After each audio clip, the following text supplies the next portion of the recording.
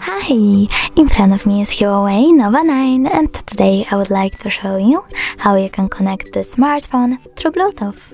Start by opening settings. Now you need to choose Bluetooth and click on the switcher to activate it. After that wait for available devices to show and when they do just click on the one that you wish to connect to. Now we need to wait for the pop-up to show up and then we need to click pair in it. Now we need to wait for this device to accept our connection request. And as you can see my devices were successfully connected. You can always disconnect them though by tapping on the device, on the gear icon actually next to it, and choosing unpair. Thanks so much for watching, if you enjoyed this video, smash that like button, comment and definitely subscribe. Bye!